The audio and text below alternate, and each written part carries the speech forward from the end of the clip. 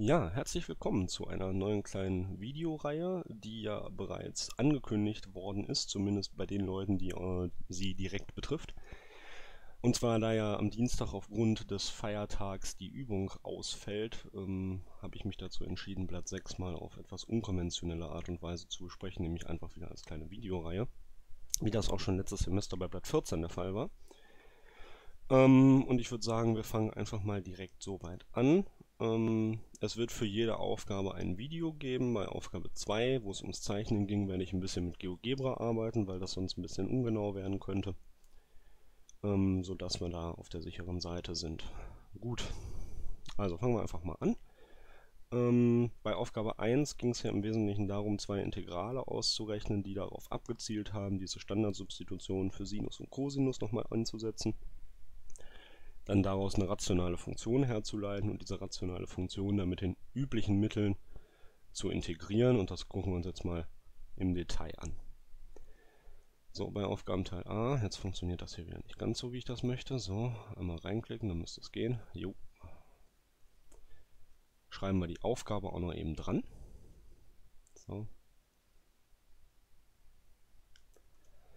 Bei Aufgabenteil A geht es um das Integral von 0 bis Pi halbe über die Funktion Sinus x geteilt durch 1 plus den Cosinus plus den Sinus und das Ganze integriert nach x.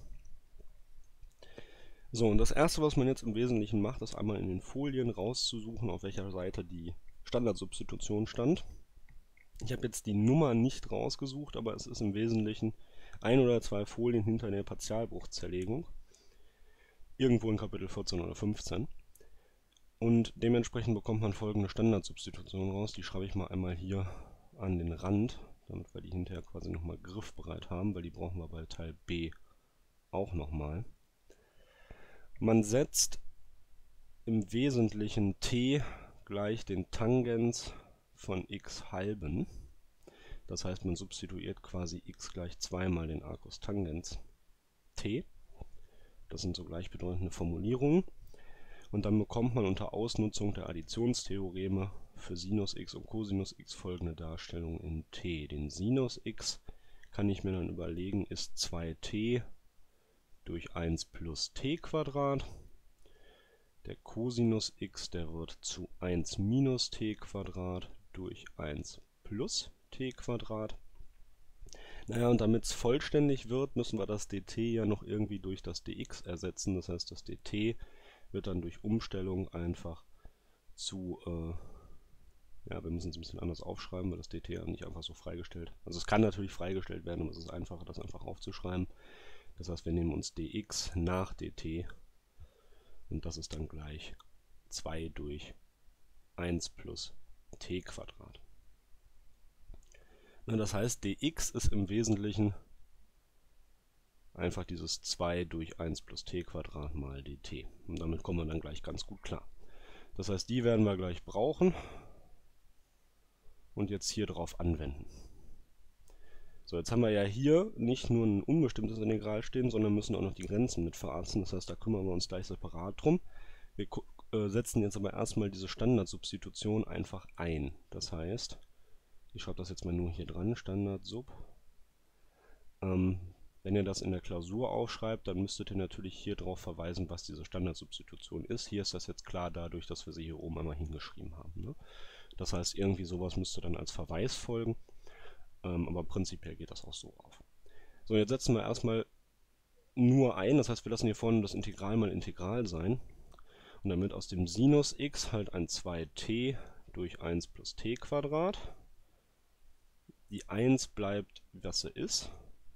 Der Cosinus wird zu 1 minus t Quadrat durch 1 plus t Quadrat. Ja, und der Sinus hier hinten, der wird auch nochmal 2t durch 1 plus t Quadrat. Und das dx, das ersetzt sich dann zu 2 durch 1 plus t Quadrat dt. Das heißt, was wir jetzt hier stehen haben, ist einfach nur noch eine rationale Funktion in t. Und jetzt müssen wir uns noch um die Grenzen kümmern, denn wir haben ja hier oben entsprechend noch nicht die richtigen Grenzen, sondern wir haben x gleich 0 und wir haben x gleich Pi halbe. Und jetzt brauchen wir die dazugehörigen t's. Und dazu müssen wir uns jetzt mal einmal die Substitution angucken, die wir ja für t gemacht haben. Das ist nämlich der Tangens x halbe. Das heißt, wir müssen uns jetzt fragen, wann ist der Tangens x halbe gleich 0?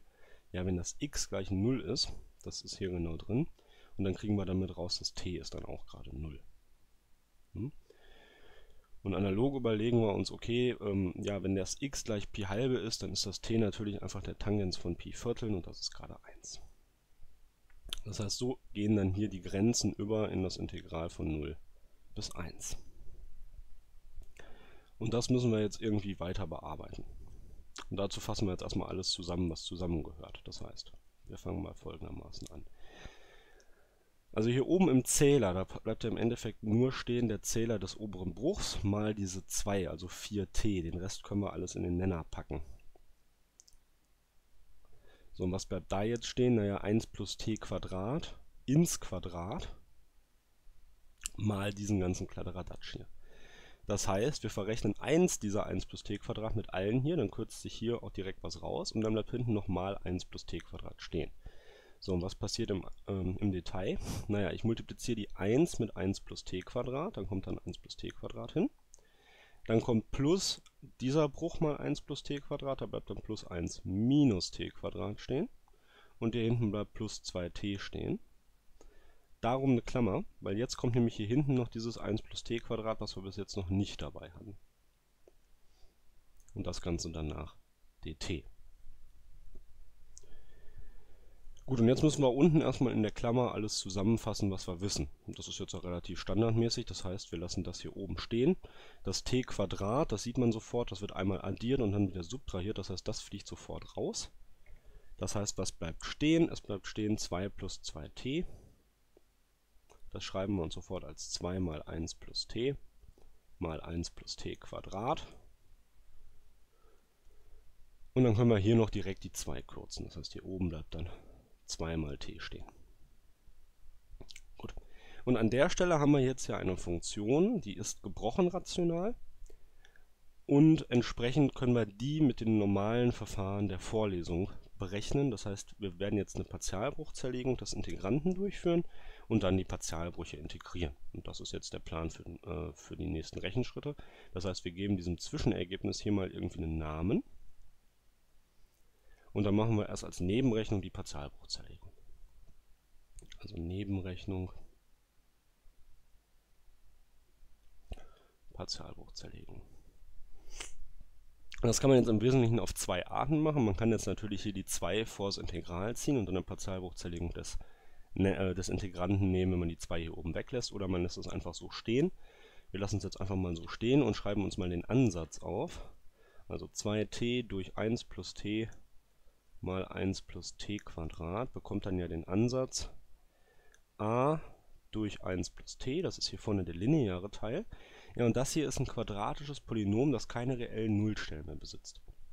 Das heißt, man hat jetzt im Wesentlichen zwei Möglichkeiten. Entweder man zerlegt das in seine Imaginärteile, also in 1 plus i mal, äh, mal 1 minus i. Oder man macht ganz normal, wie man das für quadratische Irreduzible kennt, man nimmt einen quadratischen, also man nimmt einen linearen Ansatz dafür. Also man schreibt hier oben rein b mal x, beziehungsweise b mal t in diesem Fall, plus c durch 1 plus t Quadrat. Das wäre also ein Ansatz dafür. Ja, und das multipliziert man jetzt einmal hier unten mit dem Hauptnenner durch. Das heißt, man landet dann bei 2t ist gleich a mal 1 plus t Quadrat plus, ja, in Klammern bt plus c mal 1 plus t. Ja, und jetzt kann man im Prinzip anfangen, einfach Werte einzusetzen. Jetzt haben wir natürlich nur eine Nullstelle im Wesentlichen, nämlich die minus 1. Aber wir können ja einfach danach möglichst einfache Werte einsetzen und dann die Koeffizienten entsprechend berechnen. Man kann jetzt hier natürlich auch relativ leicht nach äh, t Quadrat, t und äh, t hoch 0 zusammenfassen und einen Koeffizientenvergleich durchführen. Das ist jetzt bei dem Gleichungssystem auch kein größeres Problem.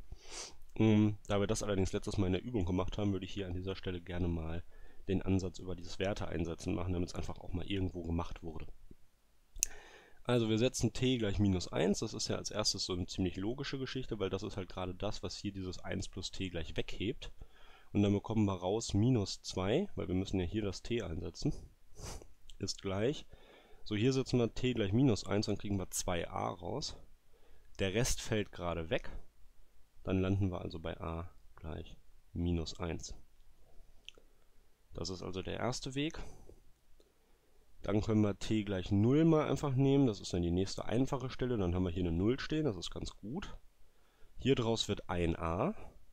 Den Wert von a kennen wir auch schon. Ja, und was hier hinten draus wird, das ist ja im Prinzip 1 plus 0. Also b mal 0. Das ist auch gut, weil dann fällt das b weg. Plus c. Naja, und wenn wir als a gleich minus 1 wissen, dann ist c natürlich sofort auf 1 festgelegt. Das ist also auch eine ganz gute Wahl einer Stelle gewesen. Ja, und dann nehmen wir als letztes noch symmetrisch zu ein, äh, minus 1 einfach die 1, weil man damit relativ geschmeidig rechnen kann. Und dann haben wir hier eine 2 stehen. Das ist gleich a mal 2. Das kennen wir auch schon. So, jetzt haben wir hier hinten eben b plus c mal 2. Also 2b plus c. Und jetzt setzen wir einfach mal alles ein, was wir über diese Werte schon wissen. Das ist nämlich einfach 2 minus 2, Entschuldigung. Also hier für das minus 1 einsetzen, dann nennen wir mal minus 2. Und für c können wir ja schon mal die 1 einsetzen. Das heißt 2b plus 1. Das heißt, wir landen bei minus 2 plus 2 plus 2b. Und dann steht da ja im Wesentlichen nichts anderes als 2b ist gleich 2. Weil minus 2 plus 2, die fällt natürlich sofort weg. Und das heißt, b ist auch genau festgelegt und zwar als 1. So, das wäre die Partialbruchzerlegung. Und damit können wir jetzt ja dieses Sternchen, was wir oben uns definiert haben, weiterschreiben als das Integral von 0 bis 1. Naja, und jetzt setzen wir halt hier statt diesem Integranten die zugehörige Partialbruchzerlegung mit den Koeffizienten ein. Also minus 1 durch 1 plus t. Dafür kennen wir gleich eine adäquate Stammfunktion. Dann kommt ein Plus. Das b war 1, also t plus 1 durch 1 plus t Quadrat.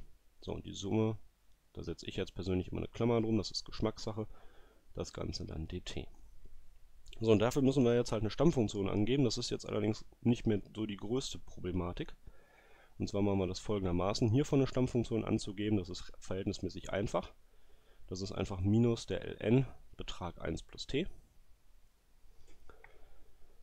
Ja, und hier hinten, da müssen wir uns das jetzt im Prinzip unterteilen. Wir kriegen hier einmal raus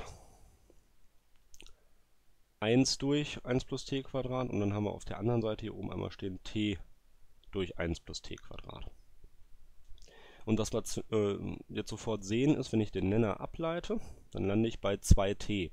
Und da steht hier oben im Prinzip die Hälfte von als Ableitung. Das heißt, für diesen grünen Teil ist die Stammfunktion einfach gegeben als ein halb mal Logarithmusbetrag des Nenners. Das wäre jetzt also hier der grüne Teil. Und ähm, wenn wir hier oben die 1 stehen haben, ist das ja gerade die Ableitung des Arcus Tangens. Das heißt, wir schreiben hier einfach noch den Arcus Tangens t hinten dran. Das wäre dann dieser orangefarbene Teil. Das Ganze von 0 bis 1. Und das müssen wir jetzt nur noch da durchjagen. Ne? Das heißt, wir kriegen raus, wenn wir jetzt die 1 einsetzen, minus ln2 plus 1 ln2 plus den Arcus Tangens von 1 minus, jetzt kommt der Minus Logarithmus von 1, das ist aber egal, das ist sowieso 0, plus 1 mal den Logarithmus von 1, das macht auch nichts kaputt, plus den Arcus Tangens von 0. So, und das müssen wir jetzt nur noch zusammenfassen. Dann landen wir bei die beiden Dinger hier vorne, die kürzen sich zusammen zu minus 1,5 ln2 und die Arcus Tangens ausgerechnet, das ergibt genau Pi Viertel.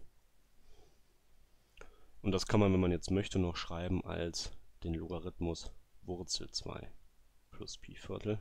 Weil ich kann ja das minus 1,5 bzw. 1 durch Wurzel 2. Ne? Oder minus ln2. So. Also ich kann das 1,5 ja noch als Exponenten hier reinziehen, dann kriege ich ja die Wurzel raus. Und wenn man jetzt noch die Reihenfolge umdreht, hat man einen schönen geschlossenen Ausdruck mit einem Plus am Anfang. Das ist aber nur Ästhetik. Wichtig ist, das ist auf jeden Fall das Ergebnis dieses Integrals. Gut. Also das ist eine wesentlich eine Standardrechnung. und die halte ich von so einem Umfang her auch für durchaus klausurrelevant, weil es ist im Wesentlichen nur Einsetzen der Substitutionen, die stehen dann im Heft.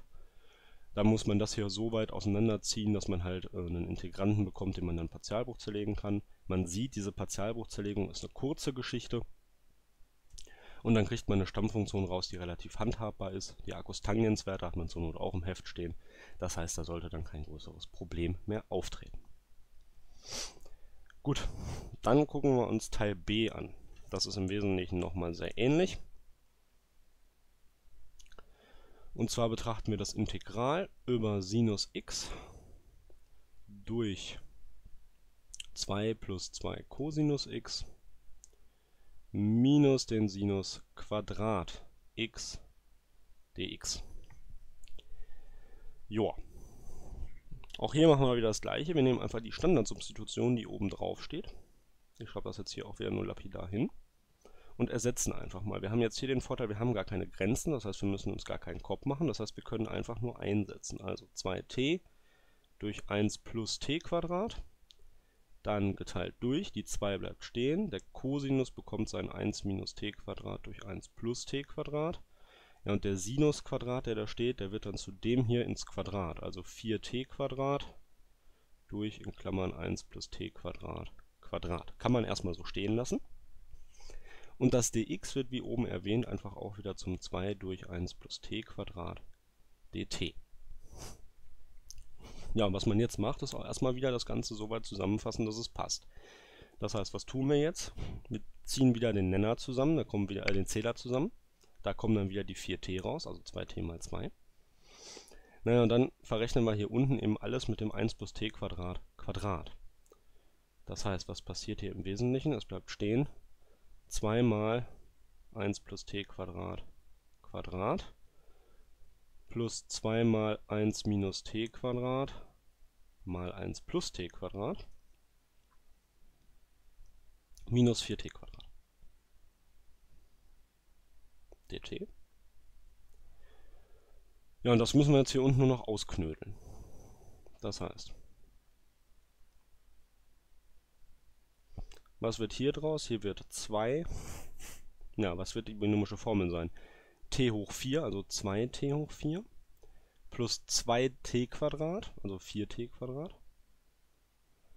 plus 1, also plus 2, hier nochmal plus 2 mal diese dritte binomische Formel, also plus 2 mal 1 minus t hoch 4 minus 4t Quadrat. Jetzt kann man zunächst mal wieder anmerken, hier dieses plus 4t Quadrat minus 4t Quadrat, das geht direkt raus. Und wenn man sich das genau anguckt, hier steht ja minus 2t hoch 4 plus 2t hoch 4, also fällt das hier auch noch raus und das hier auch noch raus. Das heißt, was im Wesentlichen stehen bleibt, ist unten im Nenner eine 4. Das heißt, das ist einfach gleich das Integral über t, dt. Und wenn ich das integriere, lande ich bei t Quadrat halben plus eine Konstante. Und jetzt muss ich mich nur noch mal dran erinnern, was war denn in der Standardsubstitution das t? Naja, gerade der Tangens x halbe. Und das setze ich dann jetzt hier unten einfach ein. Dann kriege ich also raus 1 halb mal Tangens Quadrat x halbe plus irgendeine Konstante und dann bin ich fertig. Also relativ handzahm vom Rechenaufwand her, wenn man einfach nur hier sauber durch x und einmal ordentlich ausrechnet.